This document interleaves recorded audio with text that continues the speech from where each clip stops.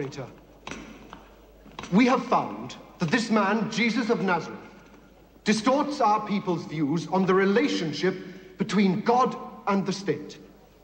Furthermore, he perverts the very heart of our religion. I'm not concerned with people who break your religious laws. My function as governor here is to keep the peace and administer Roman justice. We know that, Procurator. But this man also threatens the established order. If he were not a criminal, we would not have brought him to you. He calls himself the Christ, which means the anointed one. Thank you. I too know some Greek. Well, what else has he done? Has he spoken against the emperor? Has he spoken against Rome? Well, Procurator, not directly, no, but... Not directly? Then he's your problem. You'll have to judge him according to your law.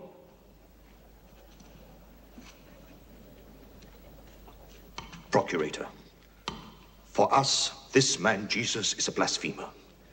If we were a self-governing nation, we would have the right to exact punishment, which under the law of Moses is laid down for blasphemy. He made a triumphal entry into Jerusalem, calling himself the King of the Jews. A claim which we totally reject. King of the Jews? Well, whatever else he may have done, such a claim is treason. True, true. All right, all right. I'll talk to him. You're Jesus. Not ours. Then whose? Whose? Bring him in!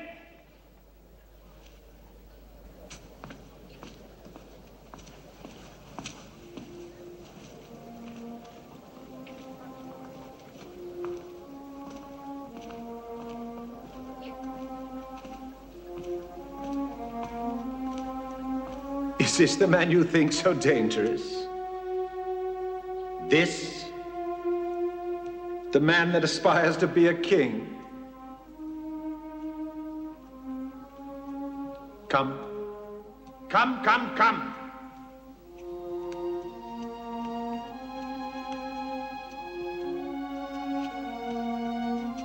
Now, the leaders of the Sanhedrin accuse you of preaching perverted doctrines. Come.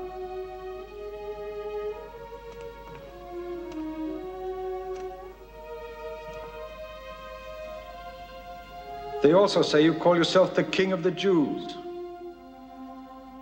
Well, are you King of the Jews?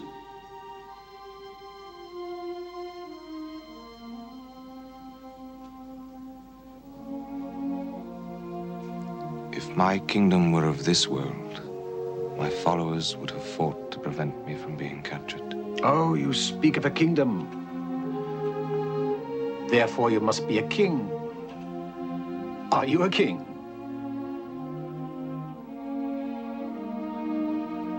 I am.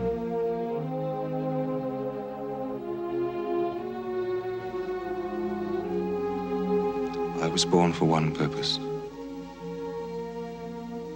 to bear witness to the truth. All who can accept the truth hear my voice. And what is the truth?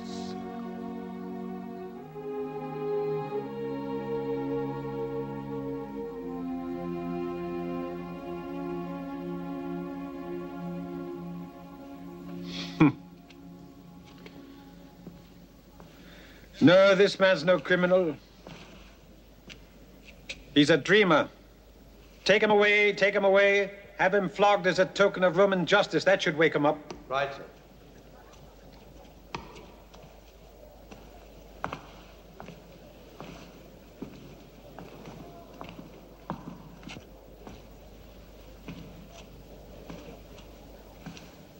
Procurator, we, the leaders of the Sanhedrin, have always had the same aim as you the peaceful administration of our country for the good of our people. And for many oh, years. Please, now, please, please, please. Don't talk to me about the people.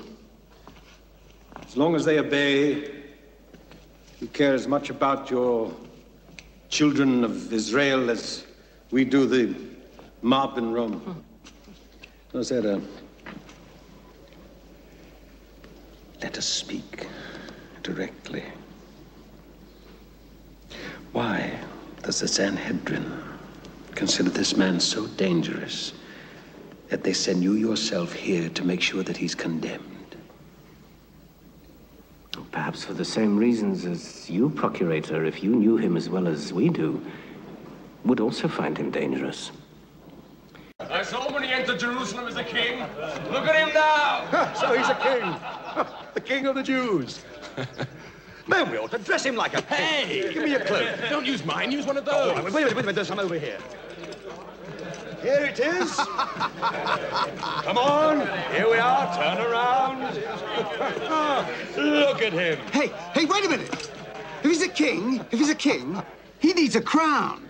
Hail, Majesty. High and mighty Majesty.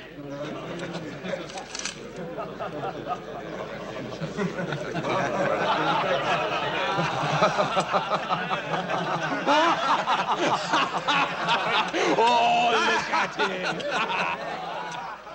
I have it! A king's crown! look what he's got! He's got his crown!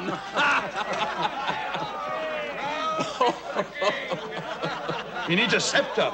Majesty! A perfect fit, your Where's majesty. your throne, eh? Ah, now he's the king. Tiberius will be getting worried.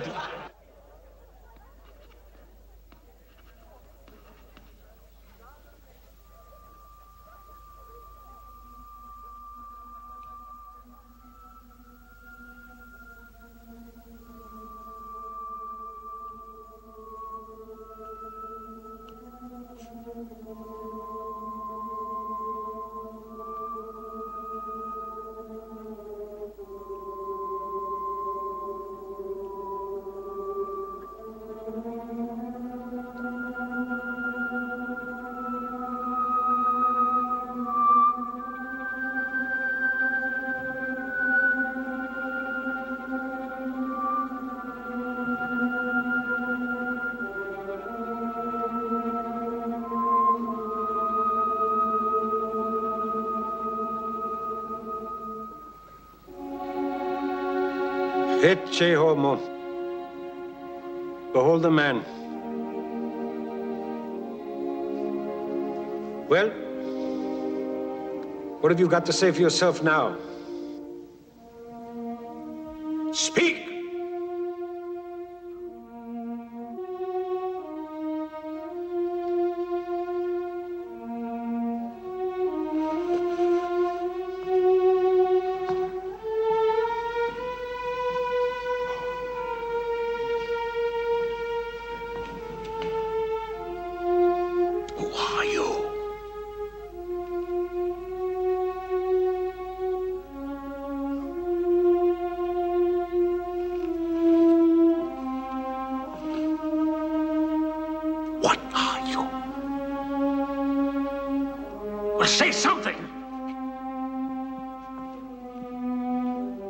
Don't you want to defend yourself?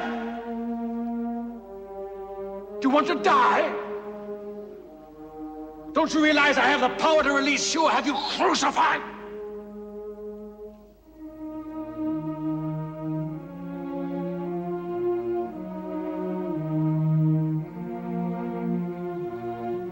You would have no power over me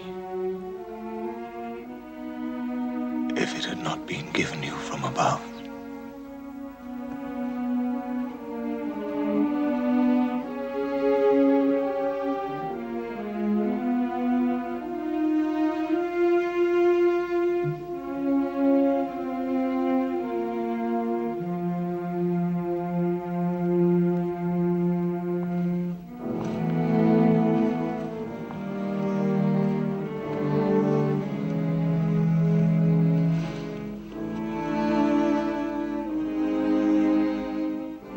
Quintilius. Isn't there an ancient custom honoring Passover where the procurator can release a prisoner sentenced to death as an act of mercy? Yes. That custom still exists. And we have two prisoners? Barabbas? And Jesus. So let the people decide.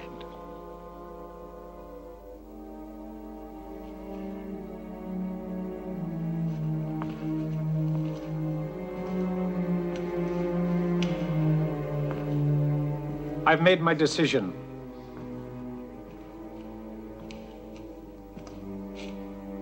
The people will decide.